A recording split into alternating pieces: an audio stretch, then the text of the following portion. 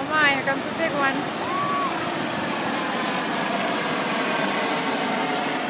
Boogie boarding.